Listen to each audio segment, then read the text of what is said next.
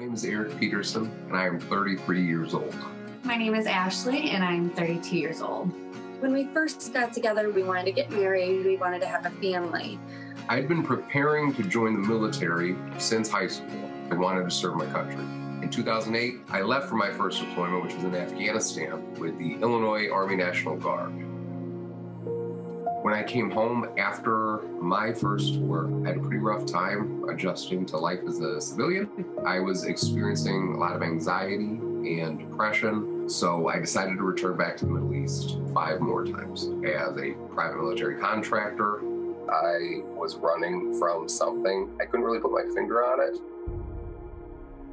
I didn't want to have children and them to see their dad and only know him through a computer screen. I would remind him, like, hey, this is what we wanted in the beginning. Do you still want these things? Because I still do. That's why I'm still here waiting for you.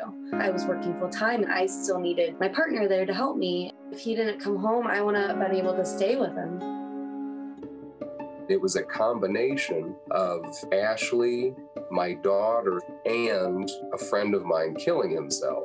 Like those three things really made me focus and say, do I want to continue to this way?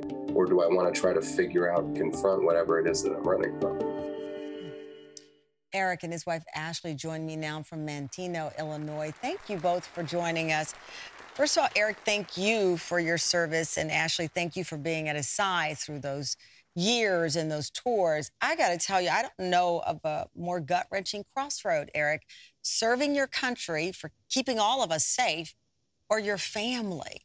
Yes, and thank you again. It it was a very difficult place I found myself in. Um, but again, if I didn't have the support system that I have in my own home with my wife and best friend and my family, friends, and the community that I live in, you know, it would have made it a much more difficult decision. So I'm very glad yeah. that uh, that I was brought to that point. You know, you talk so much about being in the military being part of your identity. You know, I my dad was in the military. I've been in the airport, and you see the men and women walking down, you know, returning off a flight and you say thank you for your service. And and I, I get that that admiration and the identity that comes along with wearing that uniform which means so much and it is your identity. That's a weight um wow that's that's a weight. Yeah it can be difficult for sure. I mean i only compare things to my common experience in uh, deploying overseas. You know you have that identity as who you are overseas, what your mm-hmm. job is, your day to day, and you become very proficient at it. And it's great while you're there, but sometimes those those skills may not always, uh, you know, transfer over as well as one would think mm. here into the civilian world. I do believe that they can, mm-hmm. um, but a lot of times, at least as far as myself, I had a really hard time figuring out how to bring those skills here and right. what I could be good at. Ashley, after Eric's sixth deployment, he came home, he took other jobs out of town. When you hear him say he was running from something, you know, it's, you think to yourself, or did you think to yourself, is he running from us? Is he running from the opportunity to finally sit here with me and wake up and have breakfast together and lunch and watch a movie and have a baby? Is he running from this great life we could have? Yeah, I mean, there were times where I felt that he was possibly running from our future. Um, but in the back of my mind, I knew how difficult it was for him to, you know, to be home and to be around everyday life that I'm used to.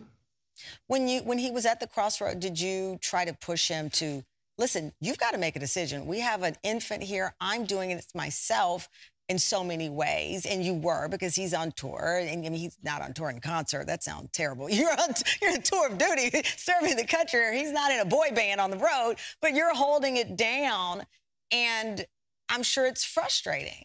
It was pretty frustrating, um, mostly because at the time he was mostly on the road a lot, and we never really knew what his schedule was going to be like, um, or what time he was going to be able to come home. Uh, so that that part was kind of difficult and that's why i think it was more eric because me i was more supporting what he wanted right. to do but i knew deep down he was going to make the right decision ashley mm-hmm. you know many times when we're at a personal crossroads we can lean in on our own thoughts and make the decision in eric's case you basically gave him an ultimatum you pushed him to pick pick left, pick right, but you can't have both. Yeah, pretty much. I told him that, you know, this this lifestyle's not for me. This isn't what I wanted, and I knew when we first got together that that's not what he wanted either. Mm. So I had to continue to keep reminding him of When that. you say this lifestyle, how that, that doesn't mean the military lifestyle. It was not being present at home. Exactly. And I'm sure a lot of uh, people who are married to folks who are police officers or firefighters, when that occupation puts you in danger as well, it's like, I want you to be able to come home to be with mm-hmm. the family. Eric, that ultimatum combined with your own personal thoughts at that crossroads did lead you to the work that you do now, helping military men and women readjust to civilian life. We actually have a tape from someone who, who you helped. It's called, the project is called Project Headspace, and timing. It helps vets adjust to life after service. And we talk with someone. Here's what they had to say. My name is Michael Totten. I'm an Iraqi war veteran. I returned home to get the normal nine to five job. And that's when I kind of started kind of spiraling. Things got a little tougher, started dealing with depression, suicidal thoughts, and just at PTSD. And I was going to take my own life. So I actually met Eric uh, while we were working both with the Department of State in Baghdad.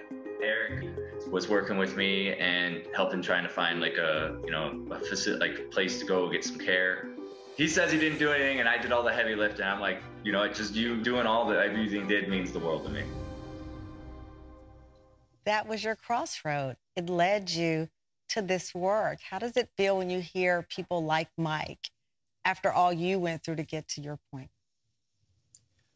You know, I don't think there are really any words that can that can accurately describe what that means. Kind of like I talked about um, earlier. You know, the whole reason why we came to this, why I came to the crossroads and realized I had to make a decision, was because a friend of mine that I was a teammate and a medic to had killed himself, mm. and even though he wasn't the first or last to do it, it was the one that resonated with me the most because of how positive he was and it affected me on such a profound level. I wanted to do whatever it took to keep anyone else from experiencing that pain again.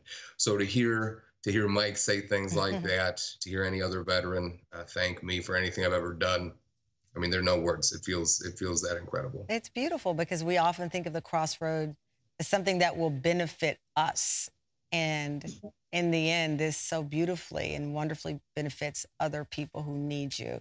Thank you both for joining us today. I really appreciate you joining us.